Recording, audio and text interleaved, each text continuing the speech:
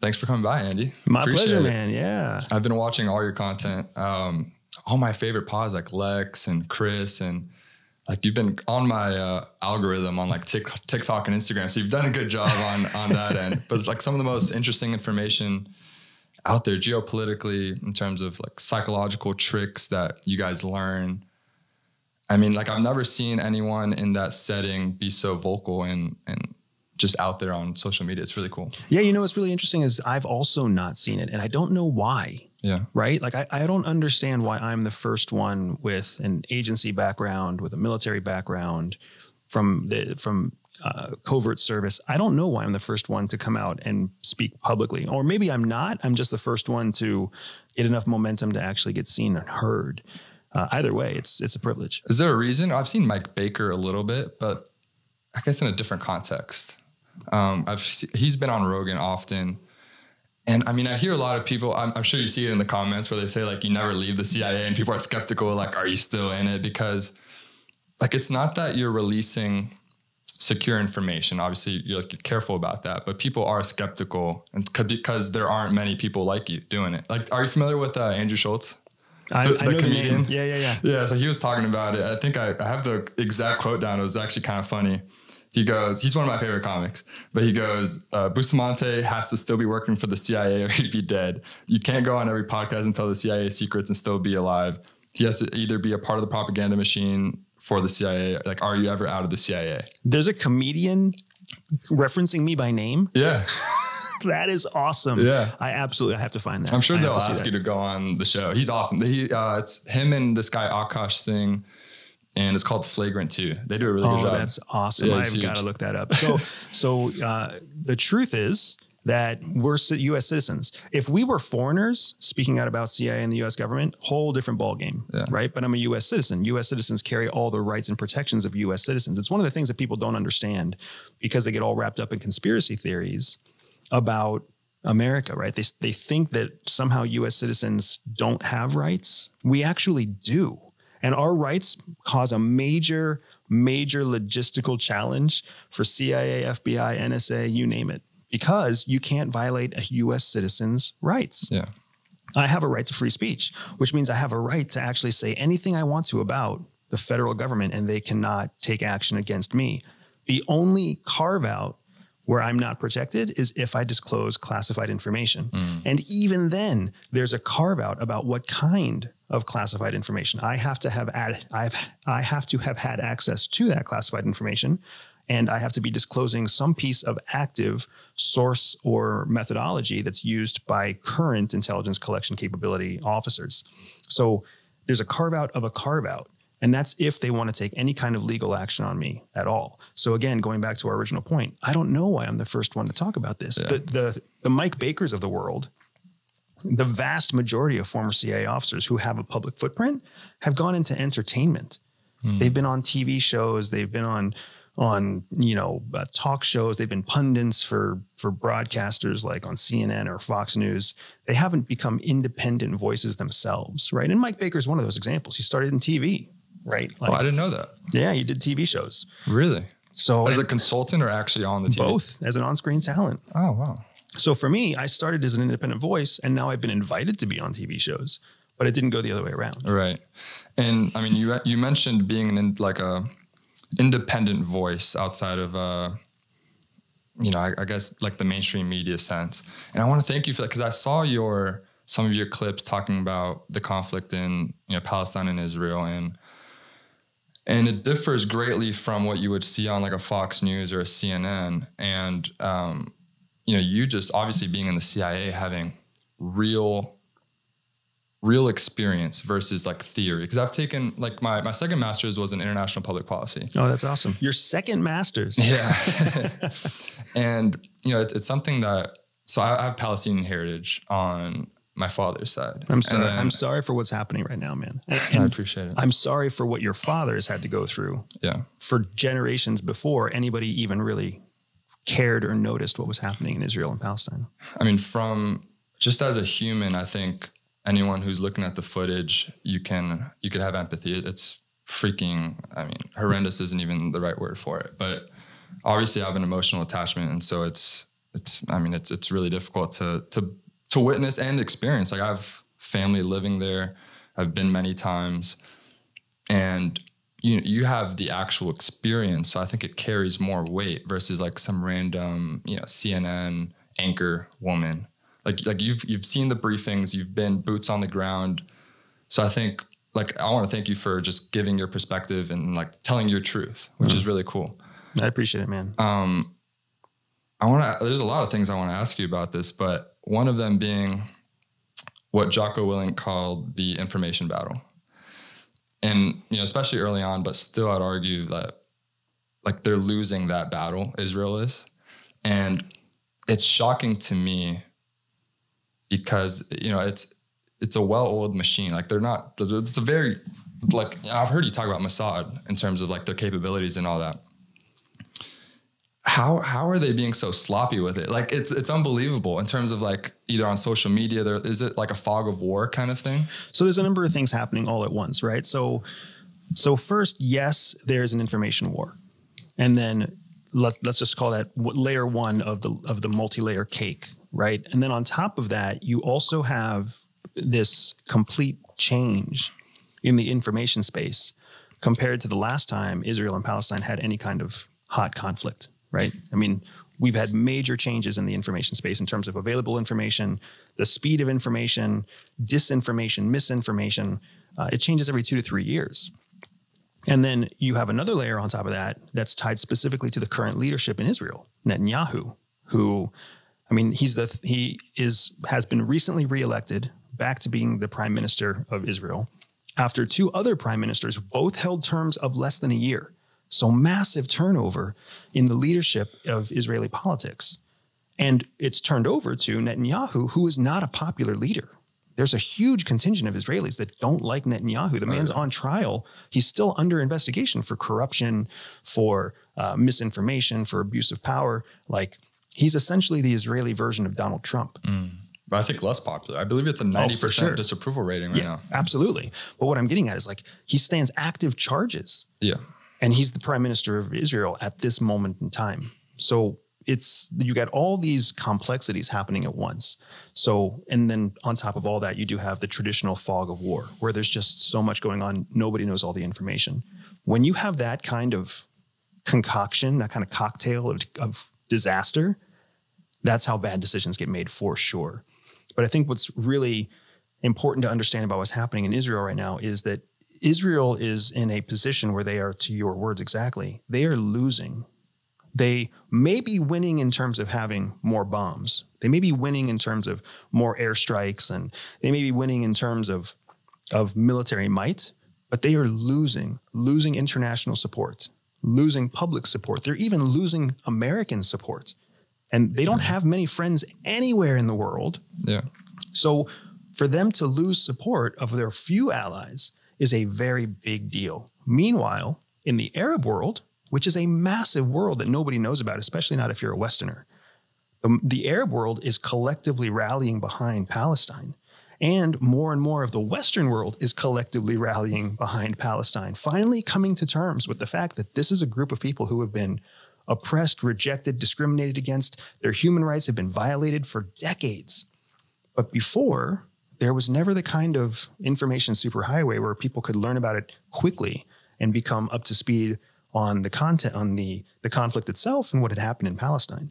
Now it's there. And I mean, you're seeing public opinion about Israel change on a day to day basis. It's amazing. Yeah, it's unbelievable. All right, guys, I'm going to take a quick break to tell you about what the boys over at Prize Picks are cooking up for you. Prize Picks is your ticket to the most exciting and straightforward way to play daily fantasy sports. It's a breath of fresh air in a world where you typically battle it out with thousands of players, including the seasoned pros and fierce sharks. Instead, at Prize Picks, you get to handpick two or more players and decide whether they'll exceed or fall short of their projected stats. It's not just another fantasy game, it's a game changer. And here's something unique. Prize Picks implements weekly promotions. Take Taco Tuesday, for example. Every Tuesday, they offer discounts on select player projections with savings up to 25%, providing even more value to players. Prize Picks has truly transformed the way I engage with sports. It's no longer just a big college football game with national championship implications. It's also an opportunity to cash in and talk some trash to the boys in the group chat along the way. If you're seeking quick withdrawals, easy gameplay, and a vast selection of players and stat types, Prize Picks is your go to daily fantasy sports app. Head over to prizepicks.com forward slash momentum and remember to use code momentum for a first deposit match up to $100. That's right, a potential $100 bonus is waiting for you just for joining the excitement at Prize Picks. Now back to the episode. My dad's plugged in on like the TikTok world, like looking at kind of what's every or like public opinion, especially in the US. And it's it's changed so much. Like Yeah. he's talking about, you know, people in the center of this country who have always sided with Israel because that's what the media tells them.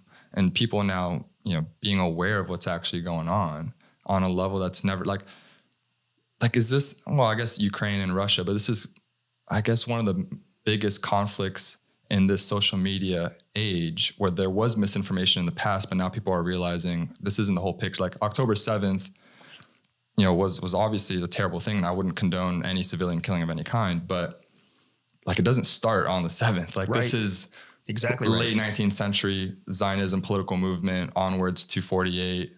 Um, you know, even uh, like one of my best friends, for example, he was, we were talking about this on the phone and, you know, like he, he grew up in the United States, has no, um, you know, claim to any of those Middle Eastern regions or anything. So, you know, I don't blame him for not understanding the history of the region but you know me growing up with with uh, Palestinian heritage, I know about the history and I've read and I listen and I try to hire my best to stay up to date. And you know the 1948 like Nakba is like a to me was like I thought everyone knew that. It's like that's common knowledge. But he's like, oh, I didn't even know that happened in 1948. And then I'm like, well, do you know what happened in in this year and that year and then these you know assassinations and all this? And he's like, oh, dude, I had no idea. Thank you for telling me. Like there's so many different examples of that, and it blows my mind. Yeah, what's interesting to me is, you know, it's uh if you don't understand history, you're doomed to repeat it. Yeah. And that's that's a famous adage that's very true and very real. But we live in a world where the reality is most people don't know history. And when it comes to really nuanced history, we we really don't know history. Because of the information age that we live in, we get the we get a benefit of not having to be historians in order to understand current tragedy. All you have to do is look at what's happening right now, unfolding on screen in front of you. And you can see the tragedy that's happening right now in the Gaza Strip. You can count the bodies and you can see the difference between 1,400 dead Israelis on October 7th and 13,000 dead Palestinians yesterday. Those are hugely different numbers. That's 10 times the amount of death, not even counting who it is that's actually paying the penalty of death, right? Women and children being two thirds of the people who are dying. These are, this, you don't have to have the context of history to understand that this is wrong. And then you have the UN talking about war crimes, not some random country accusing war crimes, the United Nations. Yeah. That's a conglomerate of countries that are basically seen as a fair and balanced force, a fair and balanced opinion of what's happening on a national and international scale. and not just now, but in the past, in terms of uh, illegal actions with settlers and apartheid and occupation and essentially martial law. Um, like this isn't like just a recent thing. Yeah, to I your mean, point. Yeah, exactly right. And and again, what's nice is that you don't have to have been a historian because now once you see what's happening, it's just a search away. Um, I mean, it's just a search away to find out that there are actual human rights violations that have been happening in the Gaza Strip and West Bank Yeah. for decades. Apartheid is alive and well. Apartheid. I mean, people thought that that ended in South Africa. It's alive and well right now in the nation state of Israel in these sections that have been set aside for Palestinians. It's it's a tragedy, but I think the larger tragedy is that the West, specifically the United States, you play pro football in the United States. I am a American veteran. I'm an American former CIA officer. We are as as red, white, and blue apple pie and hot dogs as it gets, right? And we grew up in a country that really can't tell the difference between an Israeli and a Jew. They think they're the same thing. So to be anti-Israeli, our country as a culture thinks that if you don't support Israel, you are an anti-Semite. You don't support Judaism. Yeah. two completely different things. Well, also Semites are Arabs too, by definition of the word, which is people don't really realize that. Because again, going back to the culture of our country, Yeah. our country is is at its core, we really do struggle with anti-Islamicism. Like Yeah. we don't understand the Muslim faith. We don't understand Islam. We don't want to understand Islam. The only time that you really hear the word Islam inside the United States is when you hear Islamic extremism Right. people don't realize outside of the borders of the United States, even inside the borders of the United States, there are giant, healthy it, Muslim communities that are doing amazing things. Outside of the United States, the Muslim world is a massive, massive force of international opinion, international aid, international guidance. It's just incredible. But we are we are an insulated country. And we happen to also be the world's wealthiest country.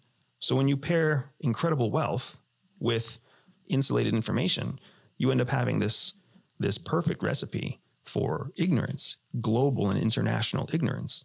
And that's where we are. And that's what we're continually fed by a media apparatus that's essentially a for profit business. So they're not, in, the media is no longer interested in telling us what's actually happening. They're interested in telling us what we want to hear so that we keep clicking, keep, keep watching, Yeah. you know, keep scrolling, and they keep earning money. Yeah. You mentioned the obviously the Arab states being active players in this, and we saw you know Hezbollah with some attacks in Lebanon. The Houthis in Yemen have already declared war for whatever that that's worth. There is Iran's also a major player. Um, who knows what Saudi's going to do? But like when you look at all this, like what do you make of it in terms of any kind of obviously it's going to be difficult, but any kind of projection moving forwards in terms of possible outcomes? Yeah, well, I think one of so at the core of all of this, there's it's impossible not to see Iran at the core of all of this conflict. Iran carries out their foreign policy through proxies, hmm. and their three primary proxies are the Houthis in Yemen, the Hezbollah group in Lebanon, and the Hamas group in Palestine. So you've got all three proxies for Iran, all coordinating attacks against Israel. Yeah. That is 100% Iran is behind all of that. The bigger question becomes why? Why? Why would Iran, a country that's, and, and Iran is wealthy. Again, Americans don't understand this. Iran is a wealthy, sophisticated, agricultural breadbasket of all of the Arab world. So there is no Arab country that doesn't trade with Iran because Iran is the best place to get your cucumbers, your carrots, your bell peppers, your breads. Iran is a is a breadbasket. It's a fantastic, amazing place that we in the United States think is some sort of like, you know, third world Yeah. cesspool that doesn't have anything going for it. No. Yeah, the perception of, of these countries are insane. it, it's literally unbelievable. I was in um, Jordan and um, in Oman, and I mean, I know you've been in like a lot of the Emirates, and like you've been. I heard you listen uh, listen to you on podcast talking about like, you were stationed there and all Yeah, that. yeah. It's like you would know, obviously. But I mean, you wouldn't. Um, you would think you're in any Western big city. Like you would have zero clue. A lot of the even signs are all in English. Yeah. Like if you just dropped me there right now, if I walked out of the studio, I'd be like, "Oh, I'm in LA." Yeah, I'd yeah. have zero clue. it's insane. So so Iran is the one kind of masterminding this thing. But why? Why are they supporting the Houthis? Why are they or why are they supporting Hamas in carrying out an attack that happened on October 7th? What's the specific trigger for that? And I think a lot of that ties back to the Abraham Accords, which have been going on for about the last 4 or 5 years, which is this outreach effort by Israel to make uh, trade relations, foreign relations, diplomatic relations with the Arab world, which has never existed before. Now, the work for the Abraham Accords actually started before Netanyahu was in office. So it's not his baby. It's the effort of multiple leading politicians in Israel to say, hey, we need to stop being at odds with the Islam, the Muslim world. We need to start finding a way to, to build closer ties with the Muslim world. So they built ties with Bahrain first. And then they moved on and they made diplomatic relations with UAE. I mean, these are major players in the Khaliji Arab world, Khaliji Arabs being the oil rich Arab countries. So they're making these gains, making these inroads. And the next one on the docket was Saudi Arabia. Saudi Arabia is the wealthiest, the largest, the most well respected Khaliji country of all the Khal- Khaliji nations in the Gulf. So to make diplomatic relations between Israel and Saudi Arabia a reality basically means Oman, Qatar, Jordan, everybody else is going to follow suit. That didn't happen. It was literally within days of the Abraham Accord being signed between Israel and Saudi Arabia that the attack happened from Hamas into Israel. Mm-hmm. Sponsored by Iran, what they did is they drove a giant wedge between any successful diplomatic relations between Saudi Arabia and Israel because the number one provider, the number one supporter of Palestinian freedom and Palestinian statehood in the world is Saudi Arabia. So to have this conflict between Israel and Palestine, to have Palestinians systematically being killed like they are, there's no way Saudi Arabia is going to make peace through the Abraham Accords with Israel, watching Israel do this to the, the people they have protected and they have uh, they have championed and sponsored for so long. So Iran successfully has driven a wedge now between the Arab world and the Jewish world, which is to drive a wedge between the Arab world and the West. Yeah, I mean, I don't. Yeah, that that makes that makes total sense. But what are the odds that Netanyahu knew about it? And like, I'll, I'll read you this quote that you said about Mossad, and I know Mossad's. You know, I suppose it's different than IDF, but I'd also suppose that there's similar ideologies. Would that You've got three players. You've got Mossad, you've got the IDF, and you have Shin Bet, okay? right? So, but go ahead and let's go through your quote because I, I do think it's worth exploring. Yeah. So you you said this on Lex Fridman's pod. Quote, Mossad will do anything. Mossad has no qualms doing what it takes to ensure the survival of every Israeli citizen around the world. Most other countries will stop at some point, but Mossad mm-hmm. doesn't do that. And when I think of one of the greatest surveillance states the earth has ever seen, and you know, to me, like Hamas's capabilities, I, I don't know if they're capable of doing that on their own. I mean, I just don't. For sure, they're not. Yeah. Yeah. And then when you throw in what you were talking about with Netanyahu's unpopularity, someone who's potentially facing prison, someone who's been in power for 16 years and obviously very power hungry, corrupt, willing to do anything to stay in power. Now, there's elements of a conspiracy there. I've, I've also heard you talk about conspiracies in terms of all there needs to be is one kernel of truth, and there's a gap between that and then rationalizing what happened. Yep. With this, I feel like there's a few kernels though For sure. there's like the, the $500 billion worth of gas there is problematic. There's the Ben Gurion canal that they've been trying to build. That's a huge player in that as well. Um, the leaked document suggesting that Netanyahu has been uh, propping up Hamas throughout all this time. And I mean, you can go down the list. There's, there's the elements exist there. Now, obviously, like I'm not there, so I have no clue, and, and nobody really knows. But I think it's worth investigating. I love how informed you are on this topic, man, because you you are exactly in that place where nine people like you out of 10 would have already landed on a conclusion based on the conspiracy. You are just saying there's all this information, but I also understand how conspiracy works. Yeah. So you haven't landed on a, on a conclusion yet, which is super important, man, because that's the difference between an amateur, what we call an armchair analyst, and a professional analyst. We have to constantly fight the information that makes us want to leap to conclusions and create a conspiracy. So, what we have here is a, like you said, multiple kernels of truth. We have, uh, and we have lots of information. We also have lots of gaps in the information. It's the gaps that are the most important. As long as you recognize that there isn't a logical way to connect point A with point C, because we don't know what happened in B, as long as you recognize there's a gap there, you don't have to make a conclusion. You can talk about probabilities, you can talk about possibilities, you can talk about opportunities, but you don't land on a conclusion. It makes all the difference in the world, man, Yeah. when you don't land on a conclusion because when you start when you start deciding, concluding based on missing information, you're not helping anybody. You're not helping yourself and you're not helping the world. Yeah. So you're exactly right. And I've heard this conspiracy, dude, October 8th Oh, yeah.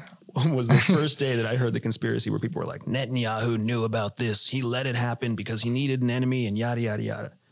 Could that have happened? Absolutely, that could Right. have happened.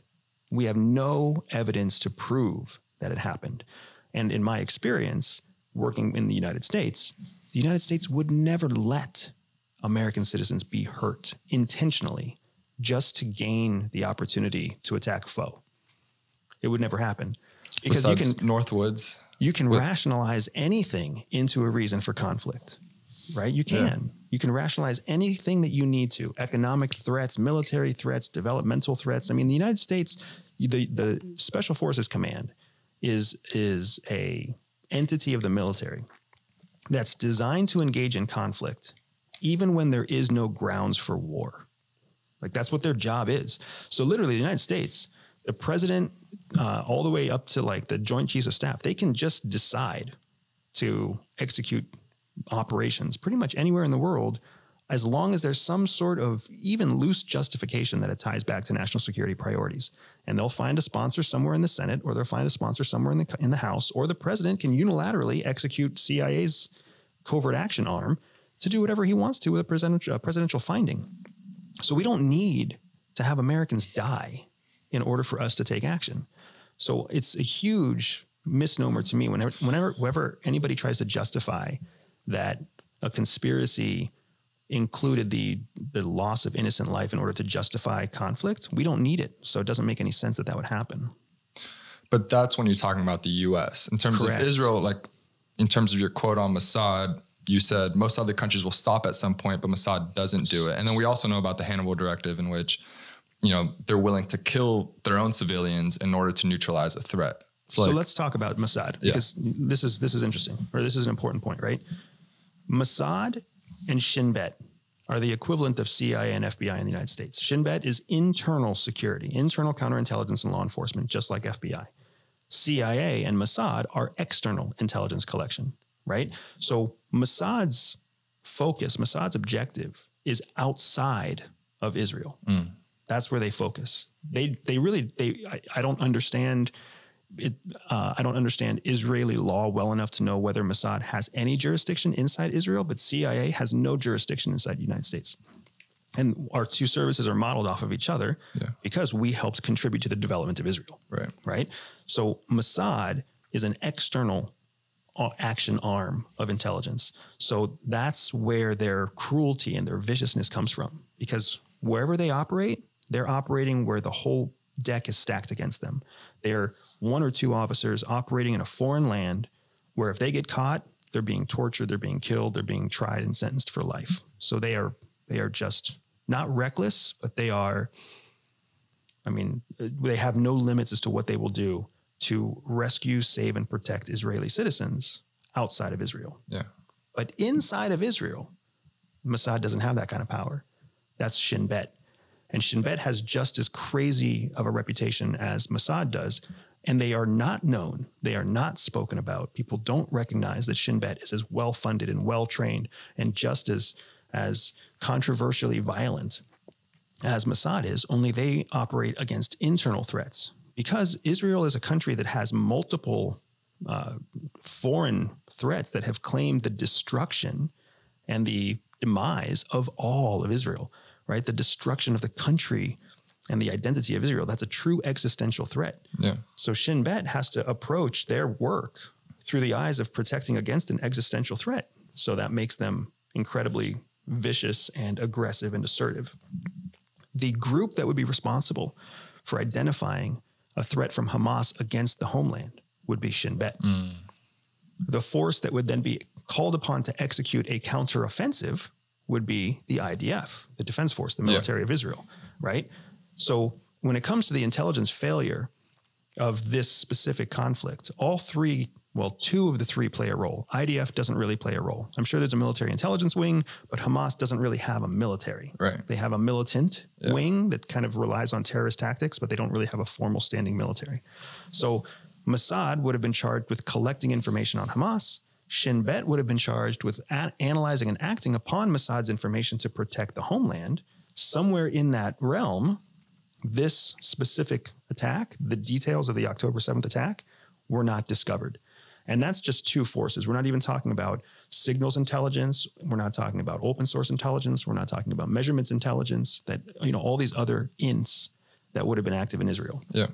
But just because the attack was a success does not mean that the intelligence apparatus failed. Right? Think of it like think of it like secrets. Right? It's that's all intelligence is. It's a it's a game of collecting secrets. If you know something and I don't know it. Let's just say it's the how much money you have in your primary checking account. Mm-hmm. You know how much money you have in your checking account. I don't know that. Most people don't know that. That makes it a secret. Yeah. You know it, your bank knows it. That's it. Is it an intelligence failure on my part for not knowing your bank account? No. It's just a well kept secret on your part. Now, if you text your balance to your girlfriend and then she writes in an email to her mom, and I have a way of hacking into their email accounts, if I still miss that bank account, now it's an intelligence failure because I can access, I can access those. I'm not going to be able to break through your brain and I'm not going to be able to break into the security system of your bank, but I can potentially hack into your girlfriend's Google account, Yeah. right? That makes it an intelligence failure. The information has to be accessible and then information and then the intelligence agencies have to fail to collect it and fail to analyze it in order for it to be an intel failure. From everything that we've heard about how Hamas planned this attack, it was literally done on scraps of paper and in-person meetings. Mm. Meaning there were only a few people who knew when, how, and to what extent the attack would be carried out. So maybe Mossad or maybe Shin Bet knew an attack was coming, but they didn't know it would attack. On it would that happen day. on October seventh. Yeah. Exactly. I'm going to take a quick second to tell you about Prize Picks, the ultimate destination for daily fantasy sports. Prize Picks has made this football season the most thrilling one yet. Forget battling it out with the pros and sharks. With Prize Picks, you're just up against the numbers. I've personally had a blast playing prize picks, and it's so simple. In less than 60 seconds, I can make my picks and submit my entry, and it's truly a game changer. You get to select two or more players, pick more or less on their projected stats, and just like that, you're in the game. Speaking from my own experience, I've debated countless times with the boys how the Pac 12 isn't overrated. Now I can put my money where my mouth is and turn $10 into 250 with just a few taps. It's incredibly exciting to test your skills on prize picks and see how far you can go. And if that's not enough, prize picks offers quick withdrawals and an enormous selection of players and stat types. So here's the deal. Go to prizepicks.com forward slash momentum and use code momentum for a first deposit match up to $100. Yep, that's right. Up to $100 for just joining the action on prize picks. Enjoy the episode. In terms of the threat of nuclear war, you've you've been in charge of uh, an arsenal. Is that in Montana, right? Correct. Yeah. when you when you see something like this unfold and, and all the major players all, it seems like all the ingredients are there and it just all that it requires is, is is one spark or like one wrong move and you know even uh, it's, it's fascinating the concept that like i listened to dan do you know dan carlin? The he's like a his he's not a historian technically but he has a really cool podcast. And, and he kind of goes in depth like it's like these six hour series on like certain points of history. And i'm like kind of like a history nerd esque. And, and i got into the the big uh the, the nuclear rabbit hole after i saw oppenheimer as i'm sure a lot of people did.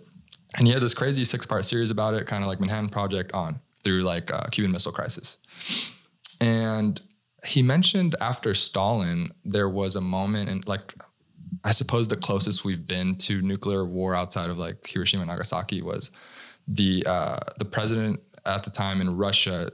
They incorrectly saw on the radar. Do you know about this? I heard it. Yep. Yeah, and then um, you know he was about to strike back, but he said let's let's let cooler minds prevail. Let's wait, and then ended up being incorrect, obviously. But like I wonder how many close instances there have been of that. That's just one reported one, and you know Israel having nuclear weapons, Iran, you know China, Russia, even North Korea, like potent, like wanting to help Hamas and, and Palestine. Like, how close are we? Do you think to something? And is this the closest we've been since the Cuban Missile Crisis? So this is this is where it's important to remember that all the conflict is being sponsored. All the conflict is being sponsored, thus far. and it going forward. So you're you're saying it's going to stay proxy, but even if it is proxy, everyone knows it's Iran. Correct, but that doesn't necess- that doesn't mean Iran has publicly accepted responsibility for it. Do they have to? To, to make it a state to, uh, to make it an official state action, a state has to claim responsibility, just Okay. like you saw Russia do with their attack on Ukraine, right?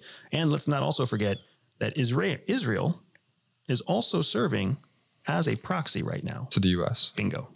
Right. So Israel's acting on their own volition, but they're being financially sponsored. They're being uh, uh, militarily sponsored by the United States, just like Ukraine is being sponsored by the United States. So there's two proxies at conflict here. Israel is a proxy for the West, and uh, Hamas as a proxy for Iran. Yeah. And there's whole networks that go behind that, right? Because if you're being sponsored by Iran, who are Iran's closest military and diplomatic peers? Russia and China, right? So you can see how the network spiders. The teams have already been formed. Yeah. and that's that's my biggest concern. Right. That's the the big glaring exclamation point at this point in history. The teams are being formed. The Yeah. last time teams were formed like this was World War II. Axis powers and allied powers. Mm. We're seeing the same thing happen now on an economic scale. The countries that, con- that contribute to the BRICS trading bloc, Brazil, Russia, India, China, South Africa, has gone on to include Iran, has gone on to include UAE, has gone on to include, uh, then try to include Saudi Arabia. Like that is a team. And then you've got your UK, US, Canada, Australia, New Zealand, you know, Europe. France, Yeah. Germany, and and even on the Western side, there's dysfunction because France doesn't really know if it wants to stay allies with the United States. Germany has already declared that they no longer want the United States to be part of NATO. They want to mm. have their own strong military so that they can stop making decisions as NATO based on what the United States tells them to do. Yeah. So there's fracturing happening in Europe with their relationship with the United States. Now, the reason I say all that is because if you understand the sponsorship of the conflict, then you start to understand the value of the conflict. The value of this conflict, just like the value of the Ukraine Russia conflict, is that it continues. If it stops, if there's a winner declared, then the sponsors lose their tool. Right now, they have a diplomatic tool.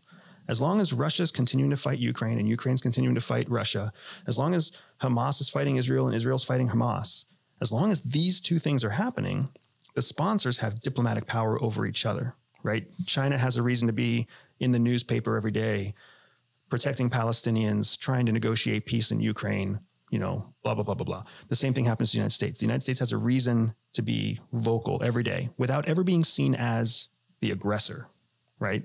Essentially, China and the United States get to be innocent, mature big brothers trying to find a resolution while these petty arguments turn into unnecessary lives lost. That's the game. That's the real game here. Wealthy countries get poor countries to carry out their conflicts. Mm-hmm. What does war look like in in a country itself? It's senior officers who make the most getting junior enlisted people who make the least to fight and die in conflict, right? It's just a macro reflection of what we see on a micro level. What is professional sports? It's young, healthy people making less money than the owners of the teams who are old, wealthy people. Yeah. It's just that's what happens. Seniority and wealth dictates the terms for the young and the hungry. like I, I understand the concept of the proxies, but you know the information's oh like everyone knows that like all the countries in the U, in the Middle East they know that the U.S. is sponsoring it, and like Iran and Hezbollah or no, I believe yeah the Houthis have been bombing like U.S. military because they know they're sponsoring them. So it's like who are you really fooling? And at what point is if the U.S. gets involved directly? I mean they already kind of are. I mean I guess the broader question is like what's the potential for for a broader conflict in, like World War Three, quote unquote. So I would argue that World War III has already started. That World War III is a proxy war. It's an economic war that drives proxy conflict. World War II was old school tanks and planes and fire, you know, uh, bombing campaigns and nuclear threats and shutting, you know, that was World War II. World War One was chemical warfare and digging trenches and people dying in the cold, right? The Vietnam War looked different. The Korean War looked different. War evolves from season to season. The current evolution of war is what we have seen in Syria, what we have seen is in uh, Yemen, what we have seen in Afghanistan, what we have seen in Iraq, right? It's this it's this proxy conflict. And it's it's ugly, but it's happening. And it's a world that is contributing to the conflict. So people are afraid that World War III is going to involve nuclear weapons. Yeah. Nuclear weapons were a World War II objective. Well, but one country had it at the time. Multiple countries were trying to develop it. Right. And then what happened is after the United States used them in Japan, they used them in a traditional tactical manner, right? Where they dropped massive bombs on the epicenters of, of military industrial uh, uh, com- capability and shut Japan down. But they also killed hundreds of thousands of innocent lives. And they made a giant uh, impact crater on history to show like war crimes, to show human rights violations, to show that the United States, who is a democracy that promotes, you know, freedom, equality, human rights, and legality, is willing to break their own rules to win in a conflict. Now that there's been a spread of nuclear weapons, what that means is it creates something called parity Yeah. which is the most useful thing about nuclear weapons. It means that now Russia gets a chance to continue its campaign in Ukraine because it has parity with the United States. Mm. So the United States can't swoop in and support Ukraine without risking the escalation on the part of Russia. Mutually assured destruction. Mutually assured destruction, or what's it's uh, there's a, a term, I'm losing it right now. There's an analytical term. We call it a paradox. Yeah, the paradox that there's more of it, so it makes it less likely that countries would be willing to use. Correct, correct. The security paradox, There you go. right? More people have security, which makes it less likely that people are going to escalate using the maximum means of their security. However, the flip side to that is that the more security one country gains, it actually encourages and inspires its uh, its opponent to meet and exceed its level of security. Mm. So the United States developed nuclear weapons. Well, now all of the now all the adversaries for the United States had to also develop nuclear weapons. So China developed nuclear weapons, and Russia developed nuclear weapons. Now, Iran is trying to, and North Korea is trying to. Right? The idea that Israel has nuclear weapons. This is one of those areas where publicly They're that is an- supposed to, right? that is an unanswered question. There are classified channels that know the answer to that question. But just to your point, when you say everybody knows, that's not really true. Mm. It means that there is a narrative out there, there's a information available to people that make them believe something is true, but there is no smoking gun, there is no solid proof that Israel has nuclear weapons. To my knowledge, the, the possession of, of Israel having nuclear weapons at all is a tightly guarded classified secret. I don't know if they have it. If I did know if they have it, I wouldn't confirm it or, not, or deny it. But I know that it has not been publicly confirmed that they have nuclear weapons. I believe I read there was an official, and perhaps it's metaphor, perhaps he slipped out of his uh, slipped out of his mouth, but he was talking about the rhetoric of let's just nuke them, and so that I mean I don't know what that means necessarily, but like my concern when we were talking about the parity and the mutually insured destruction and all that. My concern is that a, a state like Israel, I mean, I suppose it could be anybody, if you if you're the prime minister and you see that you're going down what are the odds that you're just hey everyone's going down with me that's like that's my big concern yeah. if i'm already going down it's like hey you guys are going to feel my wrath too so let's put you in those real shoes. If you were actually a prime minister and you were actually guilty of corruption and you were actually guilty of fraud, like Netanyahu is being accused of, would you actually let your entire country, would you let all of your countrymen die, including your family, including your your children, your grandchildren? Would you actually sacrifice them all to protect yourself? i obviously would not but Uh, you obviously would not. Why do we feel like we can assume that that is exactly what someone else would do? because he's done things that i would never fathom of doing But the thing is, human beings are all coded the same way. We are coded for survival. We are coded for not only our survival, but the survival of our progeny. That's really what drives human beings. It's not about us, it's about the generations that follow us. So it's impossible to look at somebody and say, well, you were a bad guy, so you would kill everybody in your family gladly to protect yourself.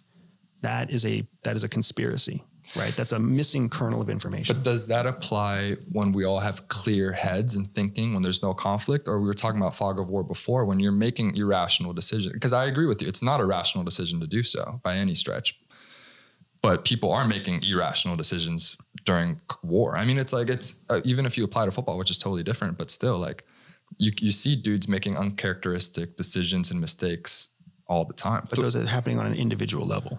The team itself Yes. is comprised of multiple individuals. And there's a hierarchy that makes it so that cooler heads can prevail, which is why you can get pissed off as, you know, someone on the offensive line, but the coach ultimately controls the offensive line. And then there's there's protocols that that have even higher levels of authority over individual players. The same thing happens in military conflict.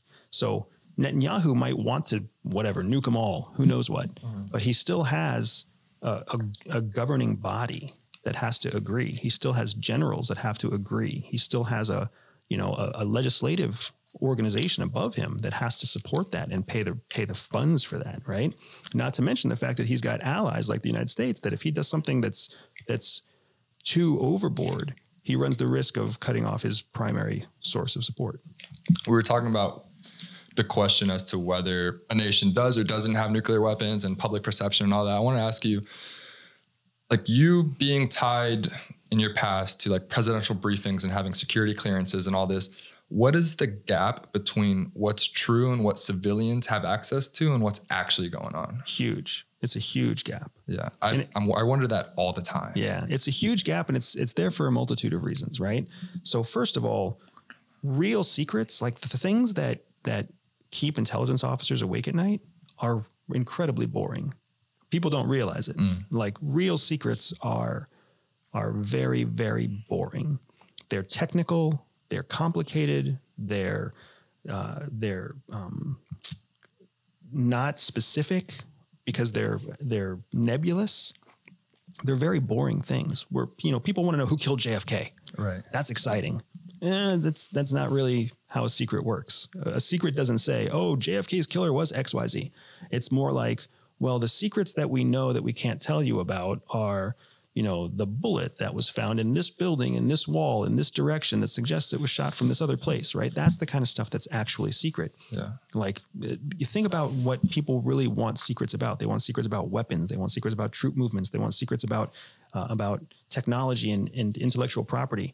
That's incredibly boring stuff. Like oodles and oodles of new of paper that tells you the specific specifications of a silent engine uh, submarine nuclear reactor. That's nobody makes movies about that Right. real secrets are really quite boring. So a big part of the reason there's such a big gap between what civilians know and what's really happening is because the the majority of that chunk is boring technobabble that nobody wants to know anyways, right? Like how does your electric oven work? Nobody really knows until it breaks and they go to YouTube and they get frustrated that they can't find the one YouTube video that they need to fix their oven. Because your oven is actually kind of complicated. Your refrigerator is actually kind of complicated, right? Even your toilet is kind of complicated. People know ah, there's a plunger and there's a, a flop, but that's all that they really know. Yeah, but presumably there's big stuff as well too. Like I understand maybe 98% of it's it's the small niche, you know, minutia, but there's got to be some big stuff there too. Yeah, there's big stuff too, but the big stuff is buried in the small stuff, and and on top of that, then there's also the availability of information. Remember how we were talking about like really well kept secrets? Yeah. there are always well kept secrets. The intelligence isn't it gets it's a word that gets confused because in everyday vernacular, intelligence literally means what you know. Right? You are an intelligent person because you know a lot. In the professional world of intelligence, intelligence is actually a term that's used to talk about what you don't know. So if you know a secret, then it's technically not intelligence it is now a known fact. Intelligence, in my terminology, intelligence in, in, in the, the world of espionage means a probability based assessment that's derived from available information. It's still just a probability, which means it's not known for sure, Yeah. right? If I know your exact height, then it's a fact. It's not intelligence. If I derive and guess what your height is based on several pictures of you where you stand next to different known celebrities and I'm estimating that you're approximately six foot four, that could be intelligence because it's derived from information, but it's not known for sure. Yeah. Are there things that you know that you're not allowed to say potentially that would shock the civilian population? Absolutely. That, but that's not just me. That's, I mean, there are people with low level secret clearances that did, that do low level jobs in the military that know things that would shock the average person. Hmm. Yeah. And that's, again, it's because of what you're privileged to know and because of what you learn in the job.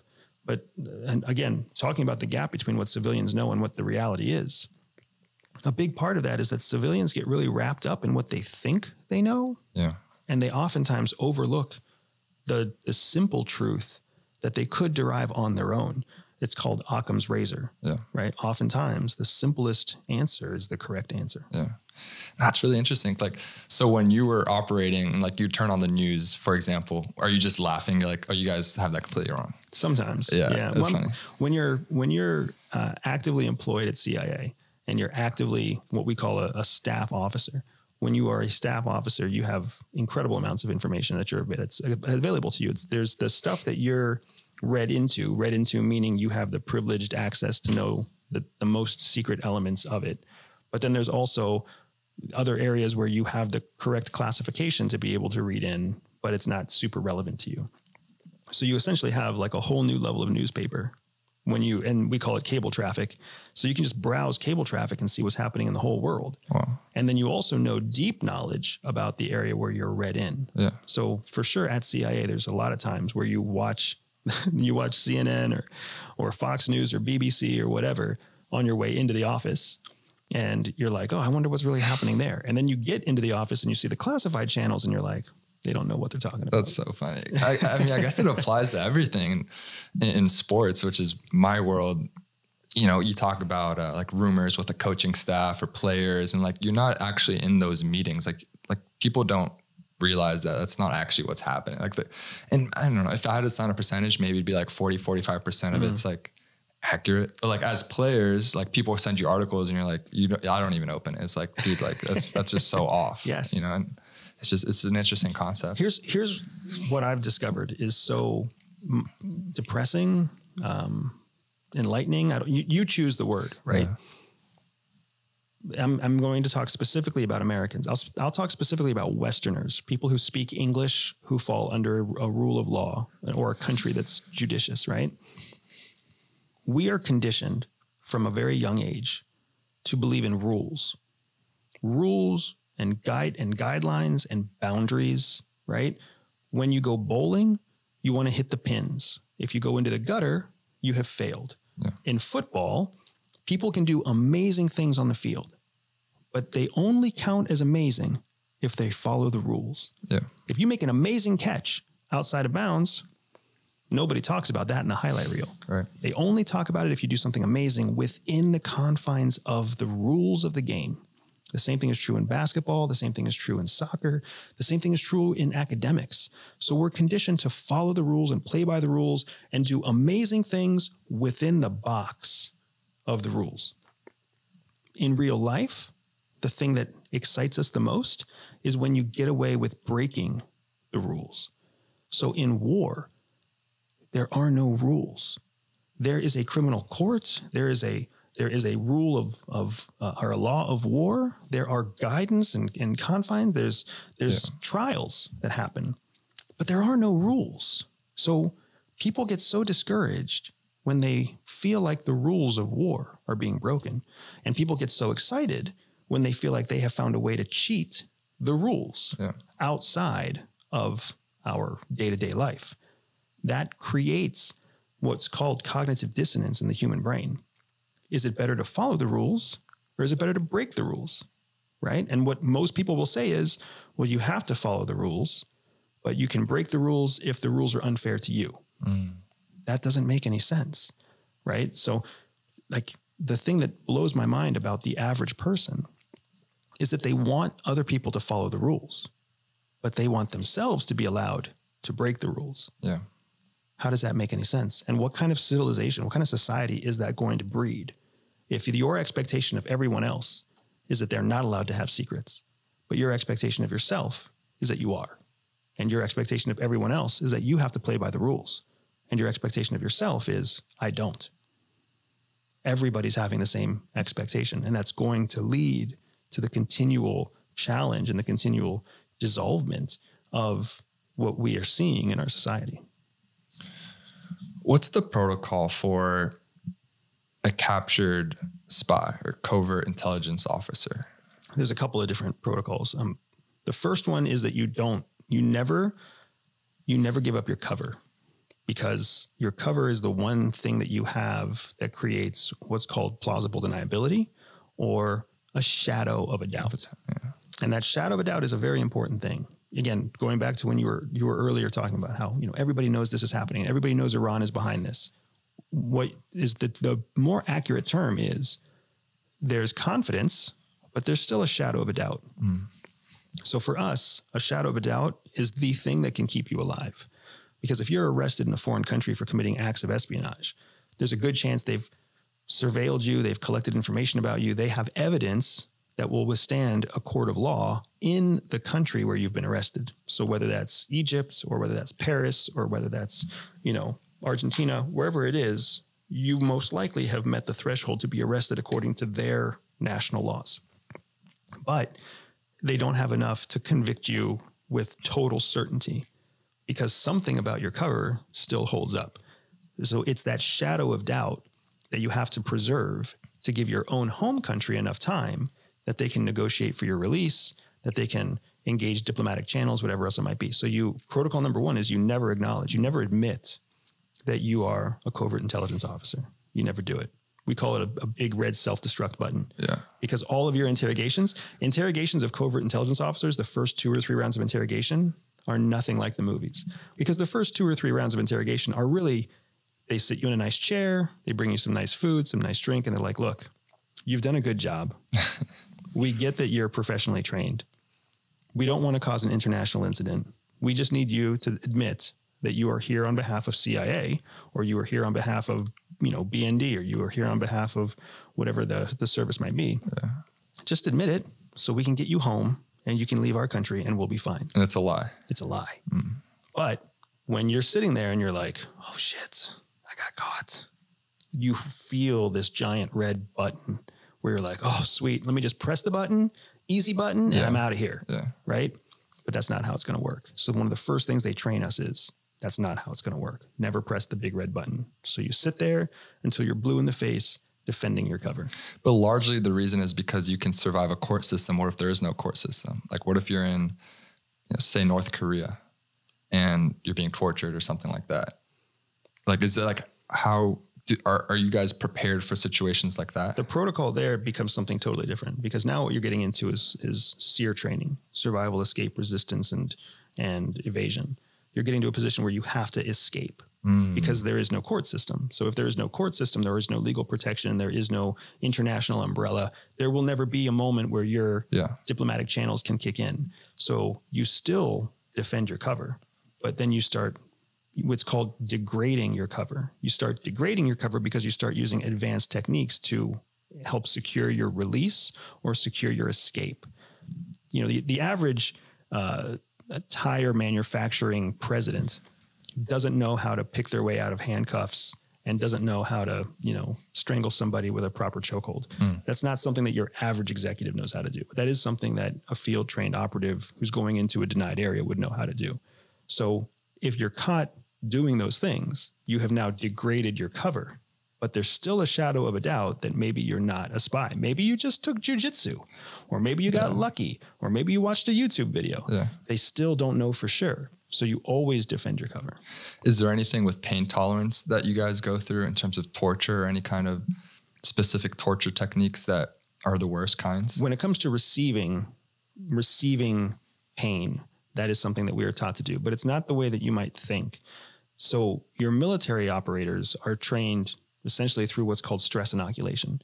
They're introduced and they're they're they sample different types of torture techniques, whether that's sleep deprivation or whether that's some kind of water torture or whether that's actual strikes, right? Kicks and and punches and slaps and and starvation. So your military members will go through stress inoculation. What happens at the agency is they teach us the concepts that drive pain mm. and where pain actually comes from so that we can understand pain. Because a big part of the difference between your intelligence training and your standard military training is that military training teaches you what to do. Intelligence training teaches you why it works. Because if you understand why something works, you can apply it in a, a range of different uh, avenues, a, a number of different scenarios. The military doesn't really know that they have the intelligence quotient in their people to teach them all why, but they do know they can teach them all what. So CIA knows they have the intelligence quotient to teach you why. So that's a huge difference in our training. It's also why military members go through two or three years of training. CIA goes through about six months of training before they're field deployed. So where does pain come from? So pain is all based on your nerve endings. You have different types of nerve endings. And depending on what your nerve endings in your fingers, your arms, your your your skull, depending on what types of uh, of sensory inputs your nerve endings are getting, it starts to your brain programs your nerve endings to become accustomed to those. So, for example, if you've ever ever put your hand into cold water, mm-hmm. if you're somewhere warm and you stick your hand in cold water, how does it feel? Good. It hurts. Oh, if you're somewhere, well, if it's hot outside and I put my hand in Ice cold, cold water, water. it's gonna be better than if I'm in cold temperature. No, it No? actually won't. Yes. Okay. Because what's happening is, But I think like if I go sauna to cold tub, I feel better. well, that's because you're a little twisted because you're a professional athlete. Okay. the average person would not agree with that. Okay. So, so if you, you know, people can do this at home. If they create a bowl of water and in that bowl of water, they pour water and they pour ice and they let it sit, say five minutes. Let your room, your, let your hand sit at room temperature, right? And then you plunge your hand into the cold water. Now, what happens is as soon as you hit that cold water, it hurts, it stings, it aches, it burns. How does cold water burn? Mm. It happens because your nerve endings in your hand have been coded by your brain to receive ambient air temperature as average. I can take the same hand out of my 72 degree house and I can stick it in a 105 degree jungle. And guess what's going to happen? My brain will code my nerve endings to feel like 105 degrees is totally normal mm-hmm. and there won't be any pain. But if I take my 105 degree hand and I stick it in the same cold water, it will hurt more because what pain receptors are doing is they're measuring the difference between what your skin determines to be average and the new the new sensory inputs that it's receiving. So the wider the gap between the two, the more pain is received. Okay. So the reason that we used advanced interrogation techniques at CIA was because we were able to simulate the gap of normal to painful mm. without actually creating permanent pain How so? because something like waterboarding. Waterboarding is you go from normal, normal breathing to challenged breathing. The person isn't actually at risk of drowning unless the waterboarder is doing something wrong, Yeah. right? So you're able to actually protect the person's health without sacrificing the simulation that they're drowning. So they get the same gap from normal to pain. And that's really where pain exists, is in the gap between between what's normal and what you're experiencing. So they can simulate the gap, which means they can simulate the panic, they can simulate the pain without actually causing permanent damage. It's another reason why, to your point, if you're skiing mm-hmm. and you're outside and it's 15 degrees and you pull out your hand, your hand as it comes out of the glove will feel the cold. Five, ten minutes later, it won't, but it'll still work. Yeah. If you plunge that hand into ice water that's 25 degrees, that water is going to feel warm Mm, yeah. because your hand had become accustomed to It's a relative 15, to what it was before.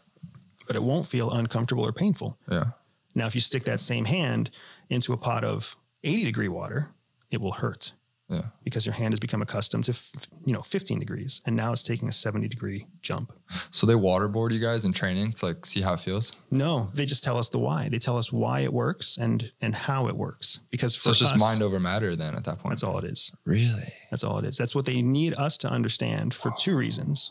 One, no matter what our enemy throws at us, if we understand that the enemy stands to win only as long as we are alive, Yeah. Then we know the enemy won't kill us.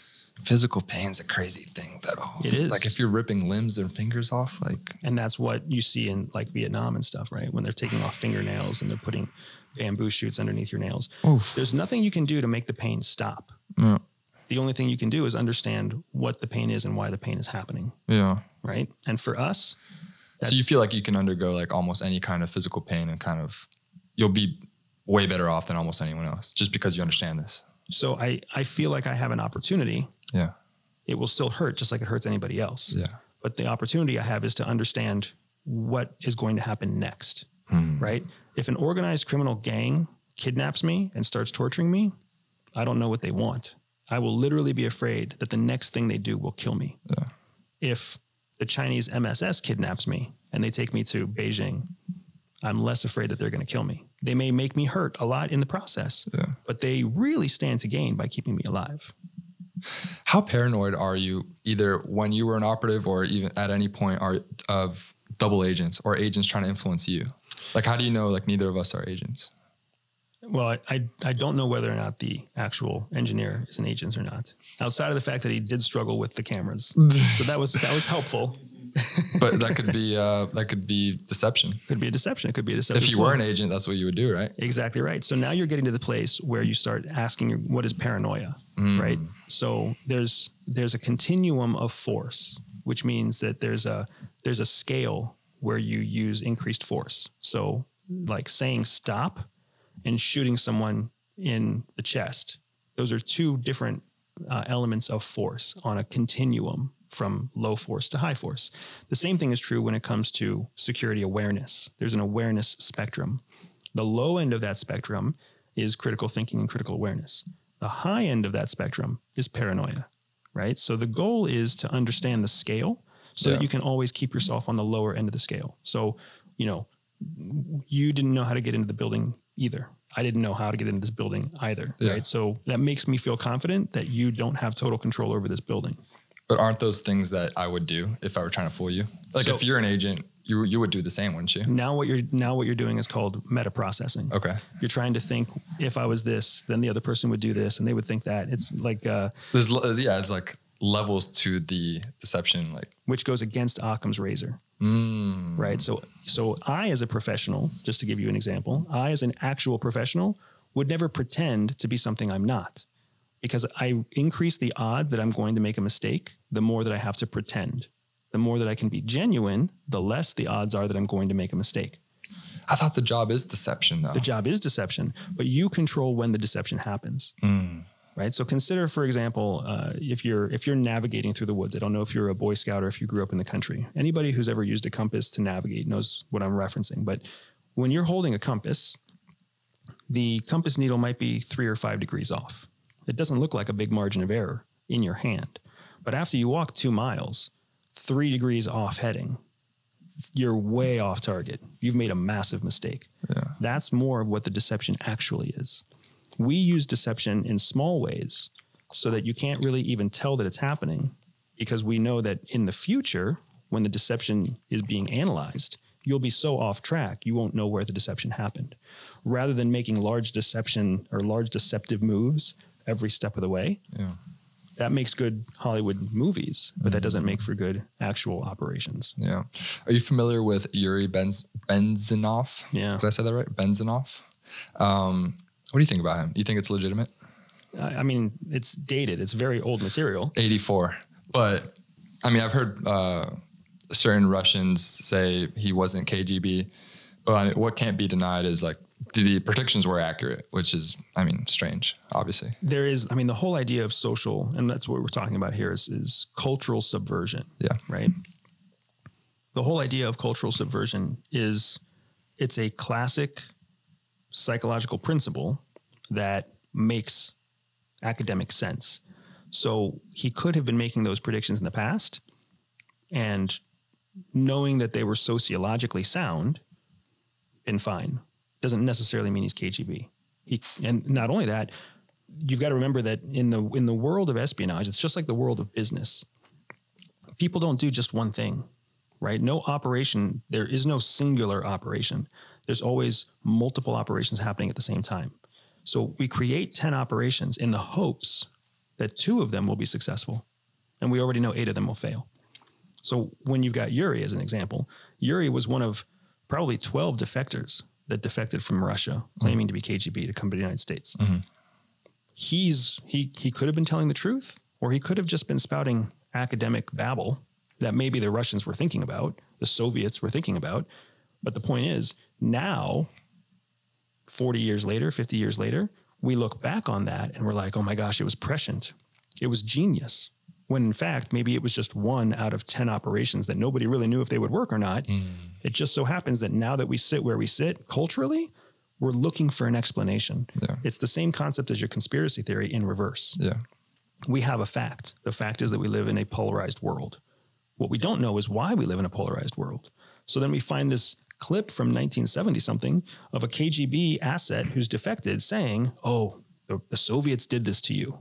And now we have something that explains the rationale as to why we're polarized. So then we stick to it. And now we have a conspiracy theory. So I know you got to head out. So this would be the last quick thing. What's your advice for finding a wife? I love that I'm getting asked that question, man, because there was there were very few things that I was more afraid of when I was younger than finding the right partner. And I That's mean, a concern. it's a serious. It's probably the biggest decision in your life. It absolutely. I mean, it's one of the most costly in terms of your time, your energy, and your actual finances. It's a fantastic, fantastic question. So, um, I don't have a prepared answer, but what I will say is that I I found my wife at CIA, Yeah. and she's brilliant, and she's hardworking, and I think she's absolutely beautiful. And I think the reason that our marriage has worked is because both of us had an honest conversation from the beginning about why we wanted to get married. It mm-hmm. wasn't because How we- early? like let me think we met in 2007 we got engaged in 2010 it was probably 2009 so within two years of us starting Okay. to date we had a very serious conversation to say why do we want to be married? Like are we getting married because it's what we're expected to do by society? Are we getting married like if we get married is it because we want to because we're expected to because we want to have children because we want to combine finances? Is it because we want to have some kind of security blanket in case the other person gets hurt? Like why? Mm-hmm. Why are we getting married? If you're not if you're not comfortable talking to the person that you're dating about why they would want to get married or why they would want to marry you they're not the right person. Hmm. Because all marriage is is a series of very very difficult conversations. So if you want to find the right partner the right partner is a person that can handle a very uncomfortable conversation. If they hmm. can handle that and you can handle having it with them there's hope for that to become a, a spouse. If they can't handle that, there's no way in hell they're going to handle what spousal commitment will bring to the table. Mm, so it's like a pressure test. Absolutely. The willingness or ability to have difficult conversations. So there's two things. It's funny. There's two things that my wife and I joke we're going to force our children to do Yeah. whenever they think they're getting serious with somebody. We're going to force them to travel abroad It's huge. with their partner. We'll pay for it, mm. right? We'll be like, you know what? You guys get three weeks Yeah. in your location of choice, right? You want to go to India? We're, we'll send you. You want to go to Paris? We'll send you. You, we, you want to go to Costa Rica? We'll send you because we want them to see what happens when you take all the comforts of life away. How does that person react under pressure? So that's one thing that we we joke we're going to force our children to do. The other thing that we that we joke we're going to force our children to do is live with us in the house for like a week, right? Let your girlfriend or boyfriend come spend a week in our house hmm. living with us, not as a guest, mm-hmm. but as a member of the family, hmm. right? What happens when they hear the two of us pass gas? What Right. happens when they understand that, you know, we fight too? Like how do they handle that sort of reality? Because again, the goal is to just make it as real as possible because marriage is very, very real Yeah. navigating careers, navigating children, navigating the death of your parents. Those are very real things. And if you have someone who's not up to the task, it's not gonna it's not gonna go well. Yeah. Well, thank you, brother, because I know you got to head out. So I really appreciate your time. That was awesome. it. Really. No, thanks for having me, and and I wish you tons of luck with this podcast, man. I think it's awesome what you're doing. Thank you. Appreciate it.